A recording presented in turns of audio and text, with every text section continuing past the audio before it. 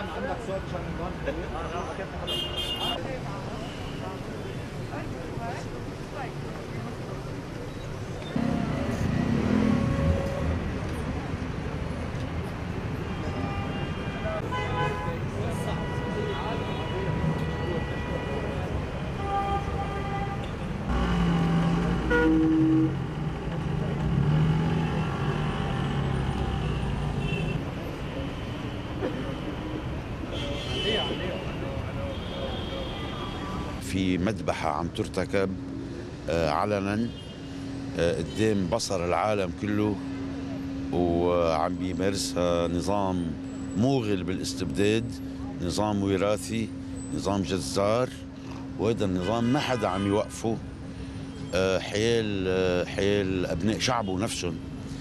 فإذا هيدا النظام انترك مش بس في مأساة إنسانية في مأساة أخلاقية.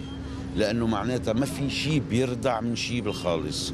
وهيدي معناتها العالم غابة مفتوحة. السفارة الروسية هي سفارة البلد اللي عم يمطر حلب بالنار والموت واللي هو الفصيل الصدامي الأساسي آه، جوا وإيران فصيل الصدام الأساسي برا بعملية بالمجزرة اللي عم تصير بحق آه، السوريين في حلب.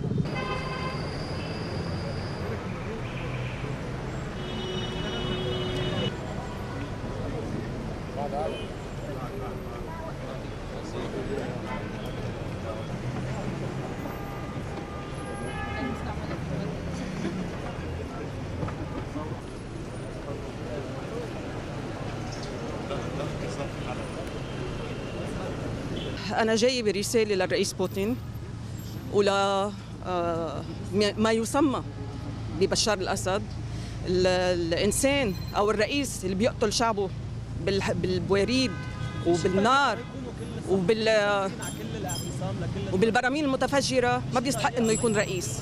والرئيس اللي بيضرب شعبه وشعبه ما بيريده وبيستورد كل شيء فيه جيوش من العالم كله لحتى لا يقتل شعبه ما بيستحق يكون رئيس. لازم يوقف توقف الحرب على حلب وتوقف الحرب بكل سوريا ويتنحى بشار الأسد. ما بيستحق يكون رئيس.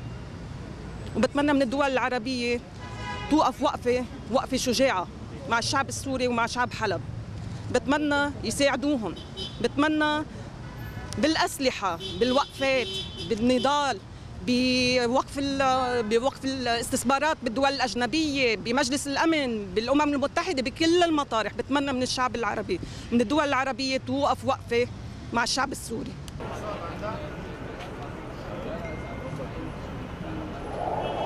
نحن هون اليوم موجودين لحتى نفرجي كل العالم إنه إحنا مع الشعب السوري مع الشيء اللي عم بيصير بحلب ضد الشيء اللي عم بيصير بحلب ضد كل نقطة دم عم تنزل بسوريا على إيدين أي حدا بغض النظر مين ما كان يكون. وبالأخص بهي الفترة على إيدين النظام السوري وروسيا وإيران وكل شيء معاهم وحلفائهم. مثل ما كلنا صرنا بنعرف آه، روسيا هي المسؤول الأول والأخير عن اللي عم بيصير بحلب بالتحديد بغض النظر عن كامل سوريا بس بحلب بالتحديد المسؤول الأول والأخير هو روسيا. فإحنا إجينا اليوم نوصل رسالة للسفارة الروسية إنه لازم يوقف الشيء اللي عم بيصير. حرية حنا معاكي للموت يا حمص حنا للموت سوريا حنا معاكي للموت سوريا حنا معاكي للموت